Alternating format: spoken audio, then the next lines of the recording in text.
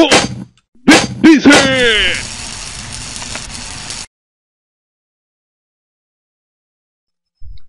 what's up? This is Naveen. Uh, this is a War PC channel. Uh, this video is going to be about uh, how to get your activation key for your Windows versions. There are lots of versions of Windows 7 that you have got, and I will. Uh, this video helps you to get the activation key for all the versions you want. Um, for example, if you lost your activation key or a product key for your Windows 7 OS, uh, this tutorial will be very helpful for you guys. So let's check it out. First thing you have to do is um, just open your daemon tools. Yeah. Once you open your daemon tools just go to the location where you have that ISO file of Windows 7 this Windows 7 version is ultimate version.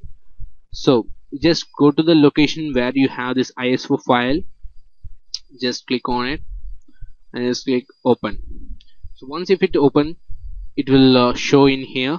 You just click on any one of this and just click green play button. That is called here a mount once you click on that it shows a mounting image.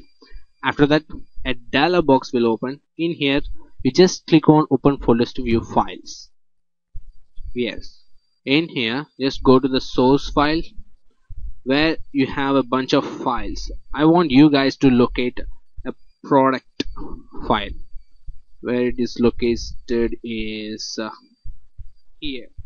This product. Just double click on it and it is open now you can see a bunch of product keys in here this all keys works under for activating your Windows OS, Windows 7 OS of different kind of versions.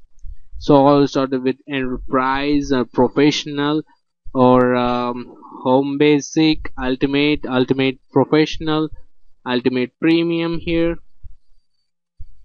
See all these kind of OSS versions product keys are available here. See uh, ultimate everything. So if you lost you don't have to go to the online uh, stuff and then ask for a windows uh, 7 uh, for uh, i have lost the product key so please help me. You don't want to go get all these issues on your own.